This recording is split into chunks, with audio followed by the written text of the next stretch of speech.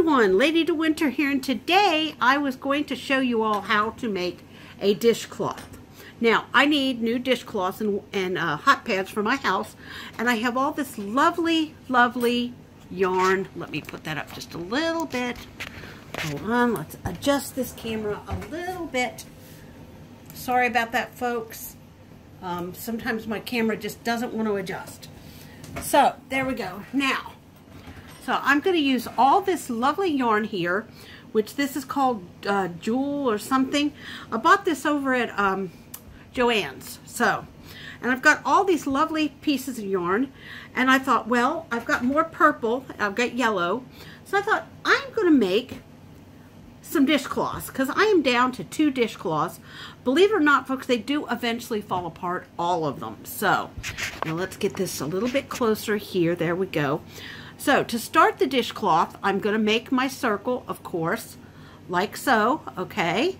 And all I did, I'll show you that again, I wrapped my finger, I put, pulled the loop off, and then I stuck a loop through, as you can see. So there you go. Now, I'm going to pull that taunt, leaving a nice tail to be woven in later, okay? Now we're going to start out with chain stitches. One, two, three, four, five, and some people loop like this, and that's fine. Six, seven, eight, nine, whoops, nine, ten, eleven, twelve, thirteen, fourteen, fifteen, sixteen.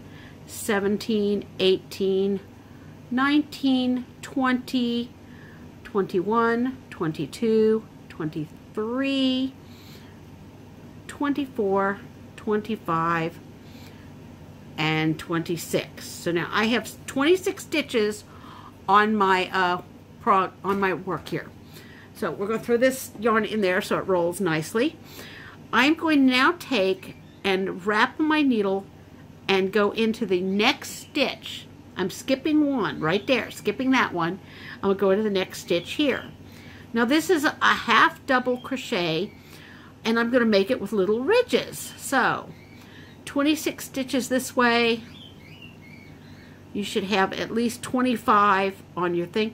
It doesn't really matter. It, however long you need it to be for your uses, okay? I make mine small because I have small hands. Other people make them bigger, they make them longer, they make them all kinds of stuff. So let's go, whoop, we need to go through this piece of yarn. Where is my yarn? There it is, right there. We need to go through that, and I'm going through the top loop of my yarn. Okay, I'm wrapping. I'm going through my top loop right here, and then I'm doing my half double crochet.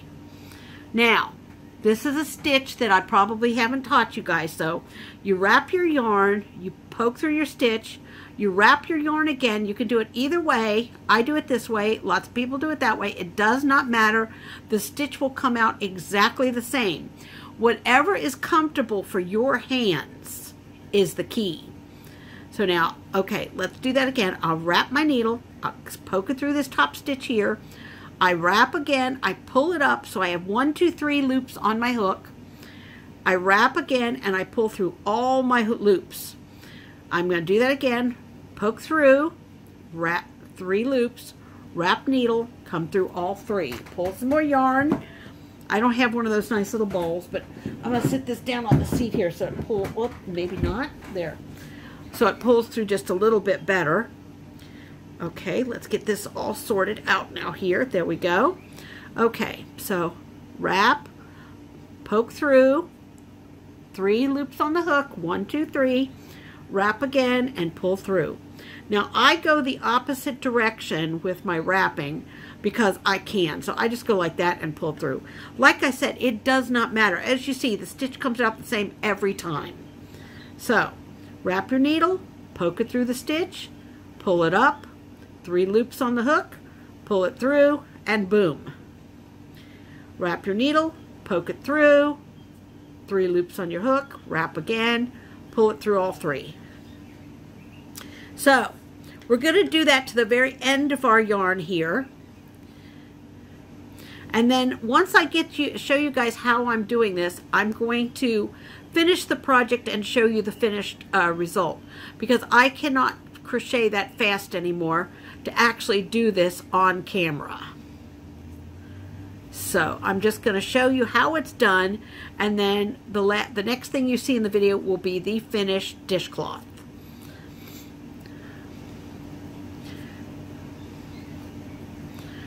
Wrap, poke through, get your loops up, pull out some more yarn. I have to have my yarn very loose because I am a very tight crocheter and uh, so I like to pull it out so I have lots of looseness there. And it's because I don't wrap my through my fingers like that I can't uh, because my hands just don't work the way other people's do due to a long-term injury where I used to work. So last couple of stitches here wrap your needle poke it through this top loop here. That one right there. Now you got three you pull pull your yarn through you got three loops wrap it again either way and pull through. Wrap your needle poke it through. And this first one is usually the hardest. The foundation row is usually the hardest. Poke it through the top pull your yarn up through. And if your if your if your yarn jumps off the needle it's not a problem. Just put it back through. It's not like it's a problem. So let me three loops pull it through. All three loops. Last stitch poke through top pull it through three loops pull it through again Okay, so there you go. Now, you see the foundation row. Now, this is where we're going to do something just a little bit different. We're going to make a stitch, okay? We're going to make a stitch right there, a chain. We're going to turn our work. We're going to skip this chain right here. This one right, we're going to skip this stitch. Let me show you. This stitch right here. We're going to skip that one.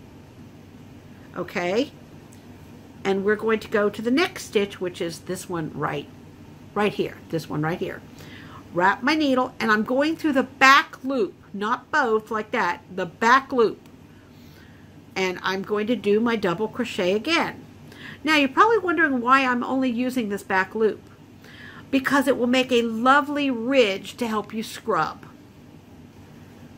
now you could use that scrubby yarn I have used it I don't particularly care for it I made face scrubbies out of it once, and that was about all that it was worth using it for. It really does not scrub dishes well. So if you want to scrub, you need to get yourself like a, a scrubby or something. So, but we're going through all our stitches, the back loop only, back loop only, which again, I'll show you is that loop, this loop right there, that loop there. That's the back loop. So wrap your needle, pull through your back loop, just like we did before with the chain. And this is the product of what you're making. You will have a lovely little ridge, which, you know, it's not good for scrubbing pots and pans and skillets, but it will help you get a little bit of grime off your dishes. And if you're scrubbing your pots and pans with a dishcloth, you're doing it wrong anyway. You need a scrubby for the harder messes. So, now, I prefer to use the sponge ones with the scrubby on the other side. That's just me. Everybody does their dishes differently, and that's perfectly fine. Whatever method works for you, I don't care what anybody says. They said you're not doing it right. They're wrong. You do it what way is comfortable for you. Just like in crocheting, you do what is comfortable for you. Now, this is the second row. We're going all the way down to the last stitch. And for me, this is where it gets a little troublesome to try to hold it all. My hands just don't work like they used to. Should I give up crocheting? Oh, hell no. Because if you give up something you love just because it becomes difficult, then that is sad. So, okay, now we're to the very last stitch here, as you see. Now we've got a little edge here, so what we're going to do we're going to wrap our needle and we're going to go into this back stitch here. The back stitch there. We're going to go through that one, pull up our yarn, come out, and boom. Now, there we go. Make a stitch, turn our work, skip this stitch here, go to the next stitch, and then start all over again using only your back loops. So, and there we go, guys. This is how I make my stitches. As you see, it's already starting to make a nice little ridge there. See how that kind of goes in and that comes out? Makes And these make a great gift if you put them like with a pot holder or a, a pot holder and some coasters. Makes great little anniversary gifts, Mother's Day gifts, um, you know, Unless, of course, you don't have a domestic mother, friend, sister, whatever, then they might not like getting a dishcloth. I don't know. I like getting them. I like getting handmade things. So anyway, I hope you guys can see this. This is a little bit difficult for me. Okay, that stitch got screwed up. Just go back, pull it all out, frog it out, and go back and do it all over again. That's it. So but this gets a little bit difficult for me because of the way I crochet, okay? That and the fact that it's already starting to happen. This hand is going to sleep. This hand is starting to go to sleep. Now, I don't know if that's arthritis, carpal tunnel, or what, but my hands are truly screwed up from years and years of working factory work, then typing 95 words a minute for several years uh, it does screw up your hands. So, there we go. Now, we're going to do this for, I forget, however many rows you want. You don't, you don't have to make this exactly the way I make it, okay? If you want it longer, that's fine. If you want it wider, that's fine. It does not matter. This is the ease of this particular way of doing it. You get this nice little ridge here to, to scrub with, and you can make it, you can make hundreds of these. I mean, different colors. Now, there's all different styles on YouTube, but this particular one is one that I just make myself. I don't know if anybody else on YouTube makes this, but I do. So, and this is just a half double crochet little dishcloth that, you know, scrap yarn, leftover yarn, doesn't matter. Okay, now, we've come to the end of our row. There is no other stitch there to catch on to, so that means we screwed up some. No, it's fine. It's fine. Okay, so there we go. I thought I screwed up, but I didn't. Okay, so here we go. We're going to go back across.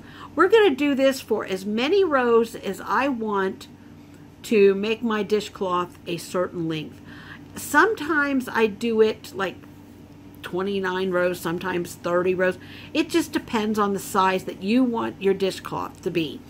I tend to not make it any bigger than my hand because it, it doesn't need to be any bigger than my hand.